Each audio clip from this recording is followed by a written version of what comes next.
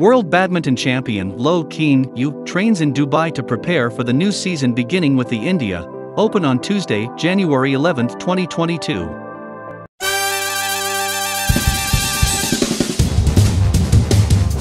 Badminton India Open, January 11, 2022. According to the World Tour website, Loh faces off against Canada's Xiaodong Sheng in the first round.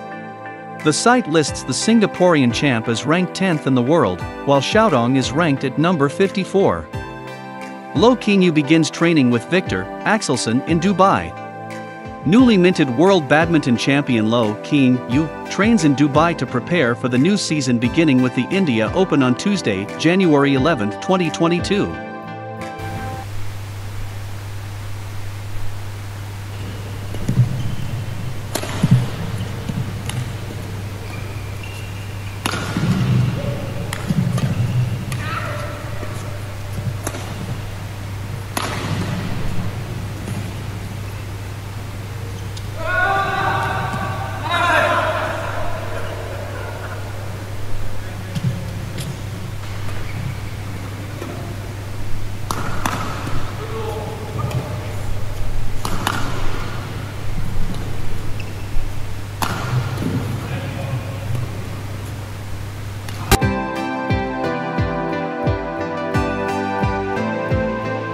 We have come to the end of this video.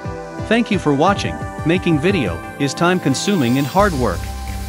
Kindly click the subscribe button and click the like button so as to encourage us to make the videos you like.